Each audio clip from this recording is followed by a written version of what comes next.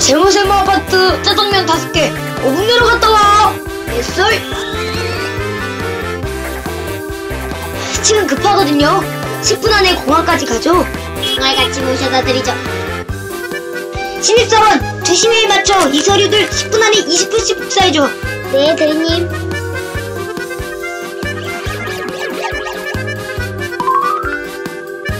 빨리빨리 한꺼번에 치워버리고 쉬어야지.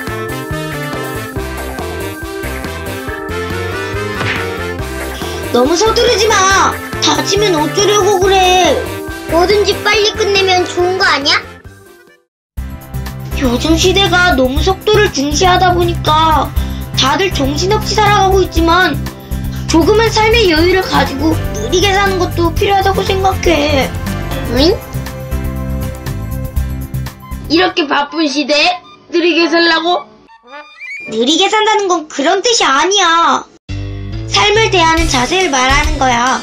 급할수록 돌아가라는 말도 있잖아.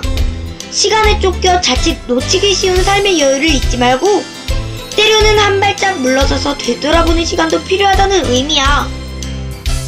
차분하게 마음을 가다듬고 자연의 소리에도 귀를 기울여보고 주변을 둘러보면서 산다면 어느샌가 내 주위에 숨겨져 있던 삶의 행복들을 찾을 수 있을 거야.